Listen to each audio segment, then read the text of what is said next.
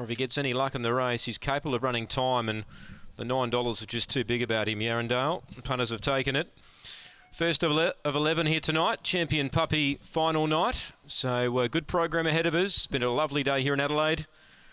Coolish conditions tonight, but no rain in sight. That's a good thing. Green light is turned on. Race number one. Welcome, everyone. All Out Crazy, the favourite. Box number eight. They're set and racing. All Out Crazy began pretty well. There's Speed, Dakota Roxy, and Quinish is now darting through. So Quinish is pushing through. All Out Crazy, three deeps, trying to chop down.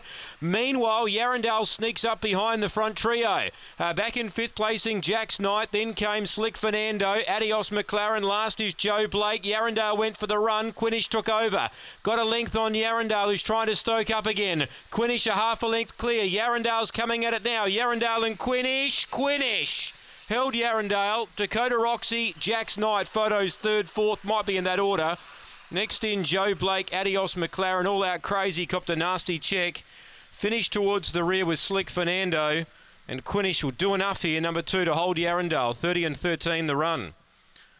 Quinish, number two, just holds on here from Yarrandale, who got right up behind the speed.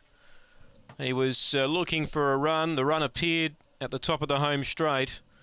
He's come through late, but he's narrowly missed from Quinish. Quinish holding on, trained by Kieran Corby. Holds Yarrandale. Jack